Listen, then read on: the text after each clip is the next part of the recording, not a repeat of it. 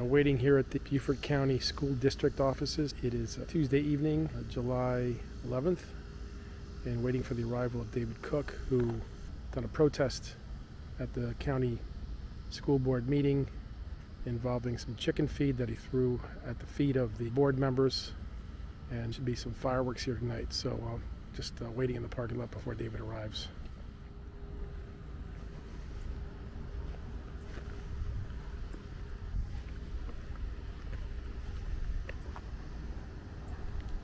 What's up, brother? Hey there. David, is it okay to talk or no? I want to get in there when the meeting starts. Okay, bro. Yeah, man.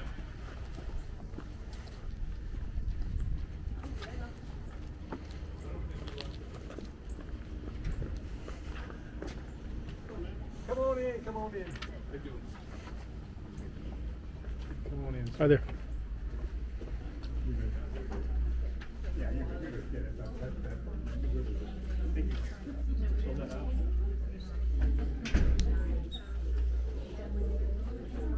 You don't do.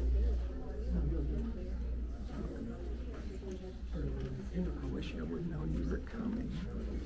We would have come together. The, the blue is it first? First period. Does everybody have to sign in or just if you're talking? I guess if you talk. Oh, yeah, that's fine.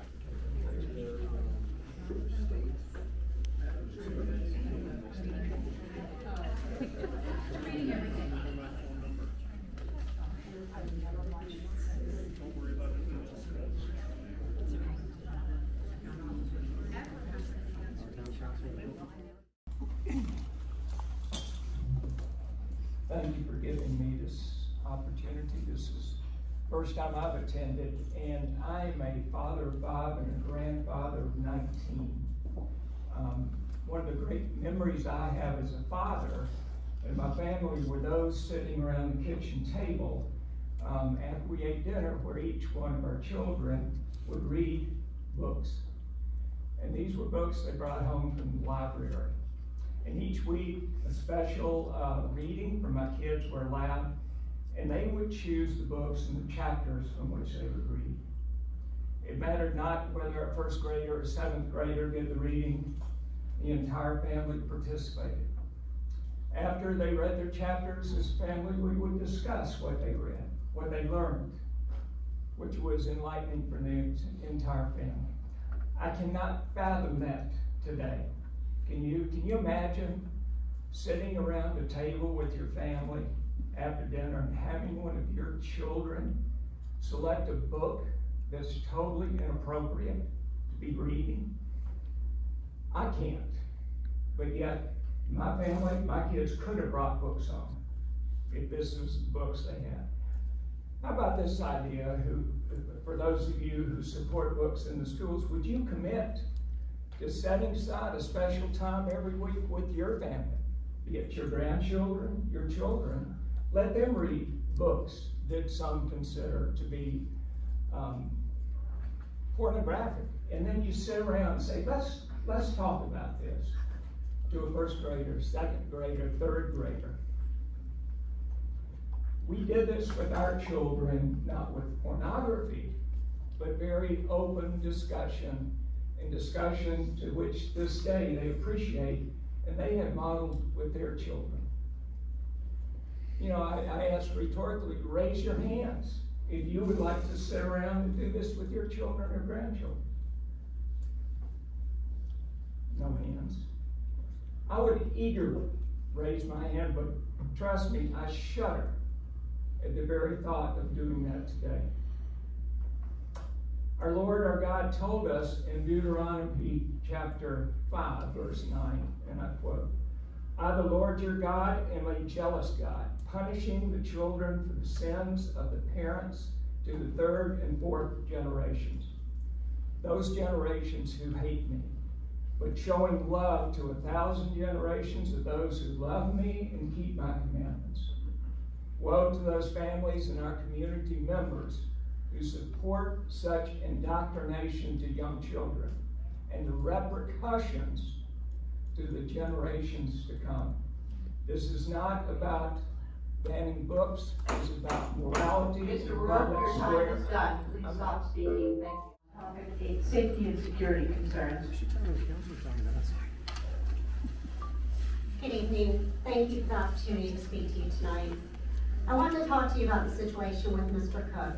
In the rubric for the review committees, when rating on avoidance of pervasive vulgarity, the reviewer is tasked with, when considered as a whole, the novel does not appeal to sexual interest in a sexual way, shameful way. I constantly get accused of cherry picking excerpts from books and not considering them as a whole. So let's compare that to Mr. Cook's situation. He has been actively engaging the school board on different issues for about three years.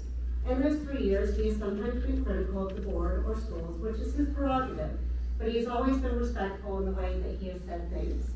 Why is the school board just focusing on his actions at the last scheduled meeting? Why are you not considering his actions as a whole, like you're saying should be done with the books? Can you see the hypocrisy there? If you think his actions are strong enough to warrant banning him from speaking in person, or whatever you decided to do, shouldn't one excerpt that is obscene be enough to take a book off the shelves for minors? And if you're going to sanction one person for their actions concerning the book issue, are you not going to sanction the action of others? For those board members who feared what Mr. Cook did, what about the continued harassment from some of the board members of Families Against Book Bans? Truly, some of their behavior scares me, such as calling me a Nazi and nicknaming me Hausfrau. Is this done to instigate someone who is unstable to come after me? Or what about sharing my address on social media?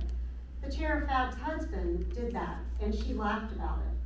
That is called doxing. Do you know what that is? Doxing is to search for or publish private or identifying information about a particular individual on the internet, typically with malicious intent. Let me repeat that part, typically with malicious intent.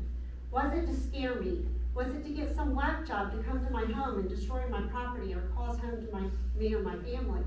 I may never know, but that damage of doxing is done. Tossing eight bags of chicken feed on the stage in front of the board is minuscule compared to having your home address shared online. And those of you who keep voting to put the books back on the shelves are aligning yourselves with the people doing the harassment. I can assure you that what they have said is far worse than anything said by the people I'm associated with.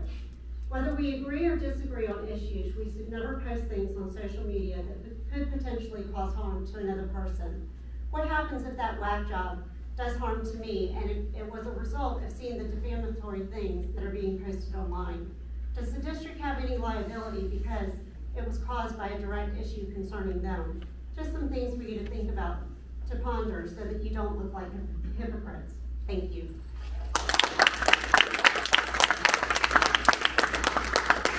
Next, we have Isabella Cook. Her topic is school experience.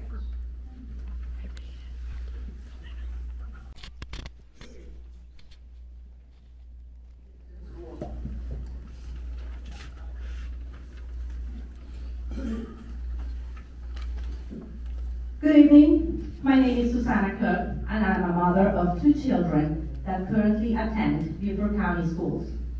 I find, my, I find myself again in this spot, reminding you, reminding you that when you decided to run for school board and were fortunate to be elected by your constituents, you assumed a moral obligation to uphold the Constitution and defend, above all, the safety of the over 20,000 children in the district.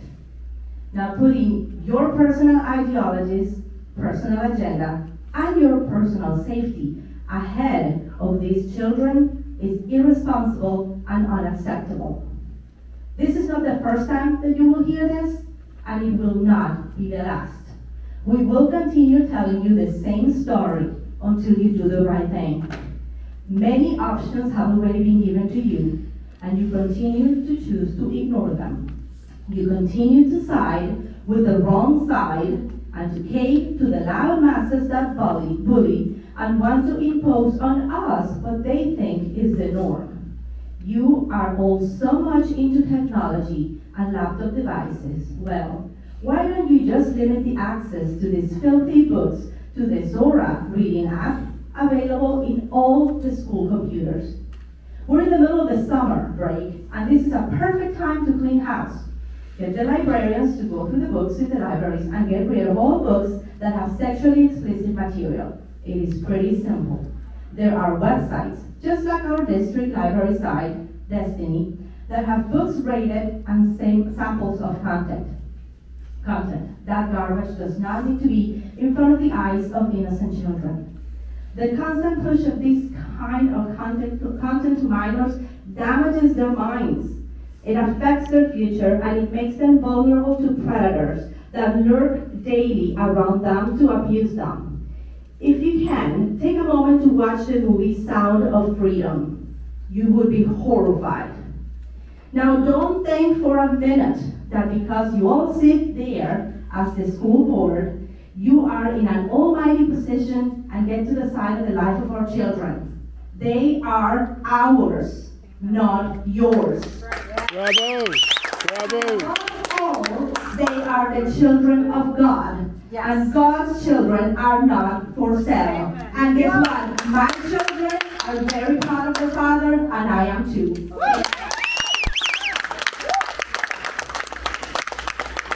Somebody in the audience that is disruptive when you are making noise during someone's comments. Please refrain from that. We just read that and you all heard it. Madam Chair, Dr. Rodriguez and staff, thanks for giving me a chance to speak. For the record, if you didn't see the video, it was a cornhole toss of chicken feed. Trust me, I've had enough practice. Did you catch on yet, though? Does anyone see how I just influenced policy in two weeks' time? This is how you should have moved last year when we pointed out the explicit books in schools. Why was your security po- policy influenced? Because you thought something impacted you personally, when it really didn't. This is a sign of victimhood. Book review policy changes can happen just as fast. One application on, on the district devices will do it all, the Sora app. If a child can't access these books on the Sora app, it's likely because of the content. I know you're tired of me holding you accountable, and when I pointed out two weeks ago that you're too afraid to change policy and remove sexually explicit books from the schools, you wanted to find a way to try to shut me up. And you wanted an excuse to get the public to hate me, you implemented a policy against fags. That's fine, it's your prerogative, and I fully support your, your, your policy. You made it very clear why that policy was implemented, and you made it clear to the public who caused that policy to be changed. The reality is, it's your fault you had to change this policy. I've given you sound constructive information and it goes unheard. I'm not gonna sit back and watch children in our school district be exploited. Keeping explicit materials does nothing. No one in this room can prove to me these explicit books improve reading proficiency at any level. I get it. You hate me so much that my wife's speech in Spanish from two weeks ago was intentionally garbled on the playback for at least five days after the meeting, and I don't know if it's been corrected. That's what you would call not being inclusive, because it's probably the first person that's spoken ever at school board meeting in Spanish.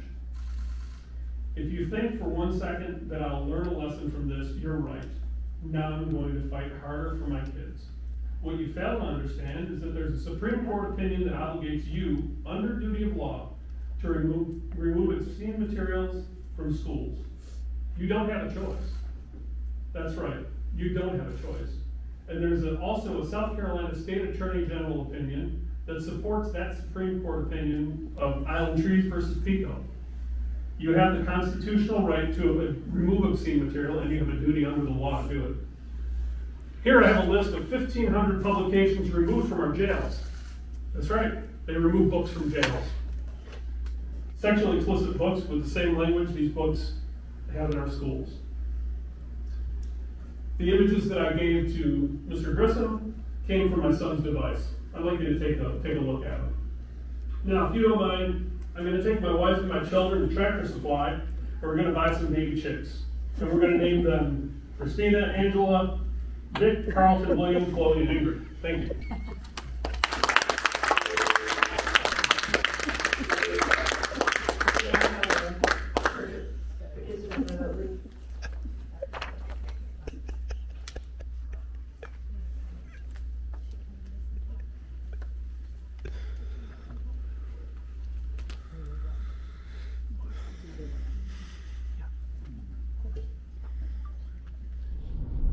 Just left the Beaufort County School meeting, and David Cook uh, did get a chance to address the committee again today. Um, there were no fireworks as we had anticipated, uh, but David did get in some good points and made a, a zinger, another insult at the board, very cleverly.